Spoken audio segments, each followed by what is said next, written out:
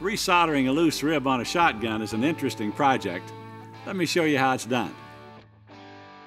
This is a Remington Model 1900 side-by-side shotgun. It's a KED grade, which was made about 1904. All Model 1900s have the K designation. The E tells us it has automatic ejectors, and the D indicates it has Damascus barrels. The serial numbers on the barrels, receiver, and forend all match. These guns were all hand fit at the factory, and the serial numbers on the parts kept them together. I've already made a new spring latch for the forend, brought the barrels tight against the receiver, or back on face, and repaired one of the automatic ejectors. One more issue. The rib is loose at the breech end. It's obvious when I tap on it.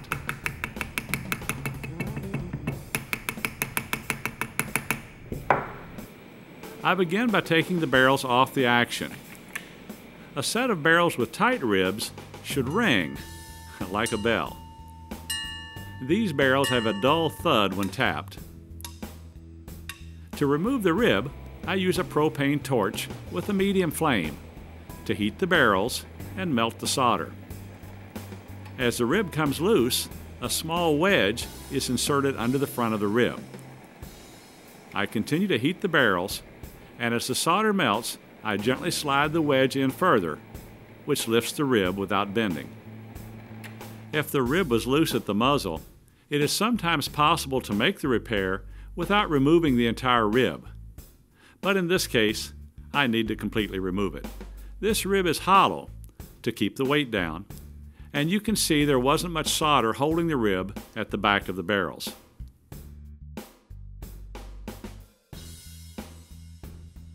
The rib extension was brazed in place at a much higher temperature, so it won't come loose during this process.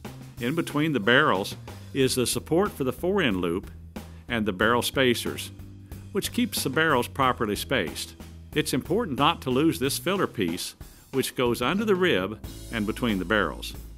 With everything cool, the area under the rib has to be thoroughly cleaned to remove the corrosion and old solder.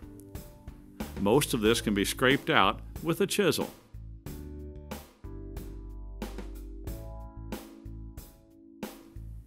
I finished cleaning the bare metal with 220 grit abrasive paper glued to craft sticks.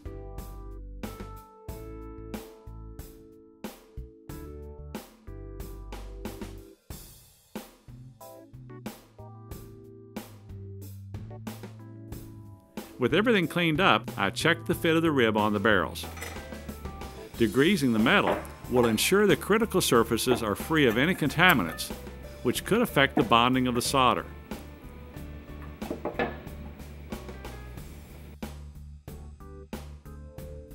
To hold the rib tight against the barrels, I use metal spring clamps. A few wraps of wire around the barrels we'll make sure they stay tight together.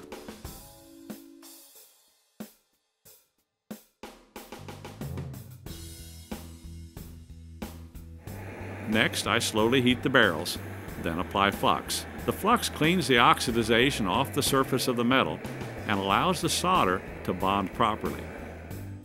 I'm using 50-50 lead tin solder. Once the barrels are at the correct temperature, the solder is applied to the joint between the rib and barrels. The molten solder flows in, filling the joint, and bonds the rib and barrels together. After the barrels are cool, the clamps are removed.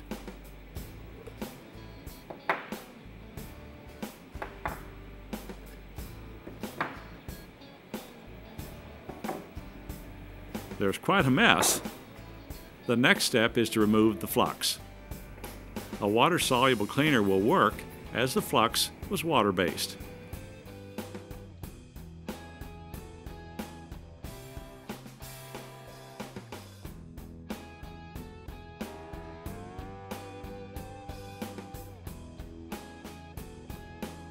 Now the excess solder is removed using a sharp chisel. Next, I switch to an old file which has the edge beveled at about 45 degrees. This will let me remove the solder right up to the rib. All that remains is to polish and refinish the barrels.